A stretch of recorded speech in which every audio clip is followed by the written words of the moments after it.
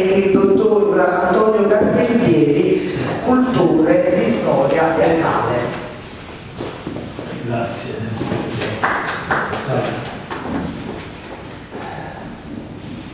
E le ricerche sull'arte che stiamo svolgendo da anni con Stefano ogni volta ci portano a delle novità, ogni volta ci portano a nuove osservazioni, ogni volta ci portano a nuove scoperte. In questo caso l'Iroli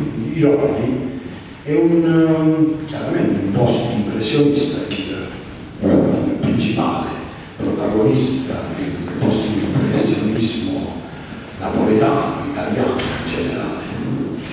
Napoli Napoli alla fine Stefano tutte le nostre ricerche, un po' la maggior parte, ma anche questa, alla fine eh, Angelo ci portano a Napoli, cioè come se noi qua, eh, la, la, provincia di Avellino in effetti eh, dal punto di vista artistico, ma sotto tanti altri profili, è una provincia di Napoli.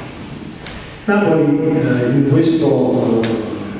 in questo rapporto con la provincia di Avellino ultimamente è un poco, è un poco lontana da Avellino, anche se abbiamo un buon servizio di trasporto pubblico che ci collega con Napoli velocemente fino alle 11 di sera, quasi una metropolitana che ci porta a Napoli, noi andiamo a Napoli e da Napoli possono venire a noi però è un po' lontana, lontana perché forse i napoletani, l'80% dei napoletani, come da conferma Angelo nelle ultime ricerche che pure stiamo facendo, bevono l'acqua di Avellino, l'acqua del Serino, quindi loro si alimentano, l'acqua sappiamo quanto è importante no? per un essere umano. E però prendono quest'acqua e ci danno danno, diciamoci la verità, dal punto di vista culturale, organizzativo, molto molto poco. Però noi continuiamo, cerchiamo di avere contatti, di discutere con loro, con la intelligenza napoletana che è molto forte sotto il profilo culturale, con i vari cultori d'arte di Napoli e dall'ultimo dall incontro che abbiamo fatto tante difficoltà organizzative, ma alla fine poi è riuscito molto bene l'ultimo incontro che abbiamo fatto, prima di Natale, c'erano, c'erano diciamo, ci sono stati degli spunti di partenza per parlare di questo Tirolo, di questo, questo grande, ha avuto una grandissima produzione, una produzione quasi industriale di opere d'arte. E eh, un po',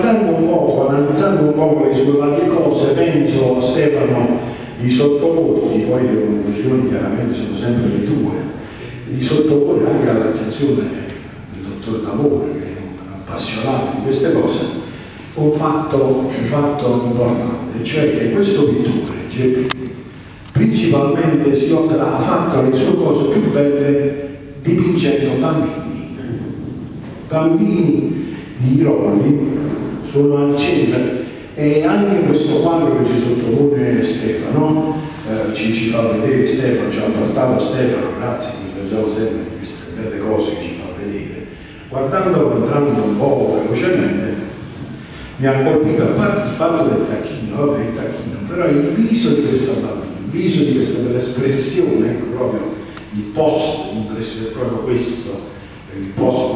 l'impressionismo è proprio questo, insomma, il viso dei bambini, il viso di questa bambina è quello su quello che invito adesso alla fine, quando vedrete, osserverete e poi ognuno si fa le sue osservazioni, invito a centrare il vostro sguardo su questa bellissima opera d'arte, sul viso di questo bambino. Chiaramente eh, poi lasciatemi fare un una riflessione così in passando, eh, non è solo lui, non è solo